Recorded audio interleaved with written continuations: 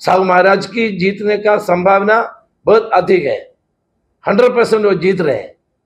इसलिए मोदी जी इधर आगे, महाराष्ट्र में महा विकास आघाड़ी बहुत आगे है। देश में उनके खिलाफ जो वातावरण बन रहे हैं, वो वातावरण महाराष्ट्र में भी है। वो भय में है।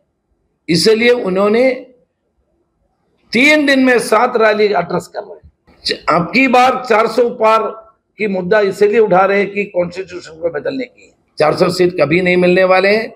सरकार नहीं उनका सरकार नहीं मिल- बनने वाले हैं। आज देश भर में मोदी के खिलाफ के वातावरण बन चुका है। केदार बेकरी। सर्व स्वतःचे उत्पादन असणारी कोल्हापूर गारगोटी मेन रोडवरील एकमेव बेकरी. आमच्याकडे आम्ही स्वतः बनवलेले खारी बटर टोस्ट बिस्किट्स सर्व प्रकारचे स्वीट्स नमकीन्स. केदार स्पेशल मलाई लस्सी मसाले ताक व्हॅलेंटिना नॅचरल आईस्क्रीम व इतर भरपूर पदार्थ मिळण्याचे ठिकाण. पत्ता केदार बेकरी तळाशी फाटा, कोल्हापूर गारगोटी रोड. अब देखिए, तीन दिन के अंदर प्रधानमंत्री सात रैली का एड्रेस किया है। देश की प्रधानमंत्री, अभी वेस्टर्न महाराष्ट्र में, तीन दिन के अंदर सात रैली एड्रेस किया है। इसका अर्थ क्या है? इसका अर्थ, नरेंद्र मोदी पूरी तरह हार मान लिया है। नरेंद्र मोदी पैनिक में है। वो चाह वो, उनको मालूम है कि महाराष्ट्र में महा विकास आघाड़ी बहुत आगे है। देश में उनके खिलाफ जो वातावरण बन रहे हैं, वो वातावरण महाराष्ट्र में भी है। एंड वो सारे कैंडिडेट को बताते हैं। कोल्हापुर की कैंडिडेट मल्लिक के बारे में मल्लिक को वोट दे दो, मोदी को वोट देना, है ना? यही बताते हैं। तो वो पैनिक में है, प्रधानमंत्री पैनिक में है। वो भय में है। इसलिए उन्होंने तीन दिन में सात रैली एड्रेस कर रहे लोग आजकल आप लोग जानते हैं कि कांग्रेस पार्टी 25 साल के बाद अपने सिंबल पे लोग कोल्हापुर लड़ रहे हैं। बहुत अच्छा वातावरण है।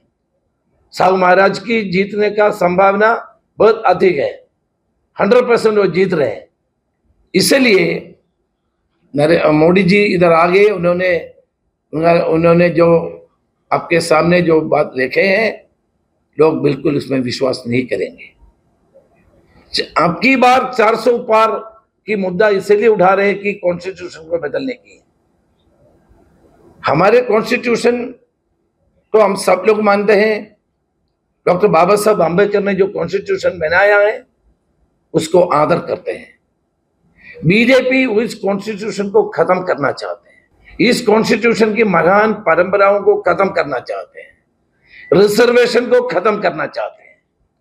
आप लोग जानते हैं कि डॉक्टर बाबा साहब आम्बेडकर को साहू महाराज ने पूरा सपोर्ट किया था। उन्होंने एंटी पार्टी और breaking the constitution means breaking the ethos and culture of Sahu Maharaj.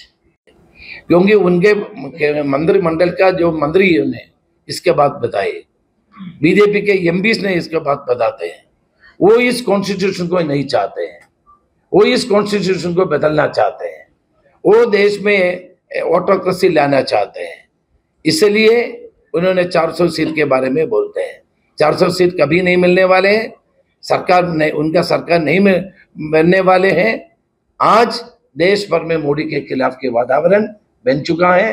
मगा महाराष्ट्र में खासतौर से मगा विकास आघाड़ी सबसे ज्यादा सीट जीतेगा और इंडिया अलायंस के नेतृत्व में सरकार दिल्ली में बनाएंगे। अशाच नवनवीन अपडेट पाहण्यासाठी आमच्या के के न्यूज चॅनेलला सबस्क्राईब करा.